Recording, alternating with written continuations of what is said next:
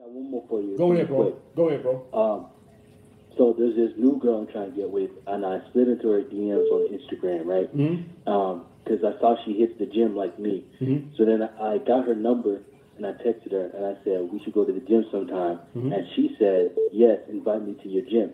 So then I said cool. Two days later, I texted her again, and I didn't really want to go to the gym with her. I kind of wanted to go to a bar with her instead.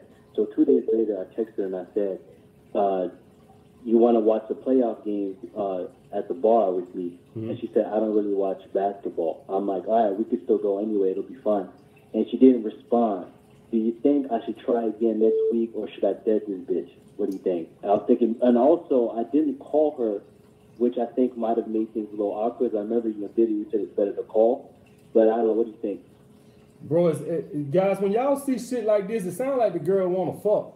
Like when I when I hear shit like this, it sounds like the girl saying, I, it, it, to me, it sounds like she's saying, I don't want to go out. That's that's that's how it's coming across to me. All right. So it, it's when you when you hear some shit like that, when something I don't like, uh, it sounds like she almost saying, "God damn, invite me in somewhere." All right, or something like that. Like she want to fuck. All right, guys, y'all got to get this notion that every woman want to, um, you know, do all this dinner and dating shit. Some of these women just want to fuck. So when you with a woman like this and you say, "Hey, you want to go here," and she like, "Oh, I don't, I don't, you know, I don't do." The... Sometimes women are throwing subtle hits to keep your ass in the house.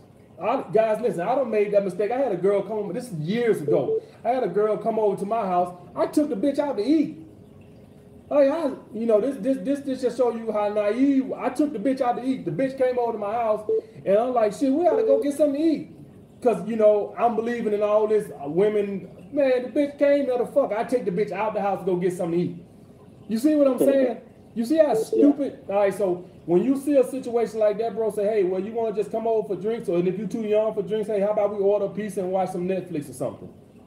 All right, I'll, I'll try doing that. So you don't think it's too late? I could just try again. How long it's been?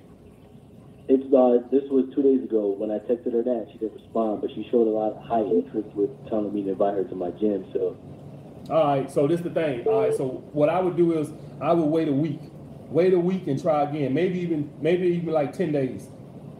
okay, and you think I should go with the phone call? Go with the phone call. Always the phone call. All right.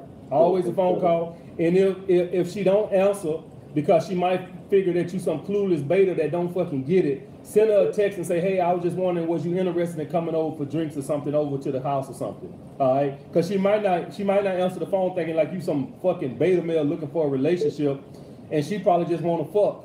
All right, so if she don't answer the phone, make sure you send a text and say, hey.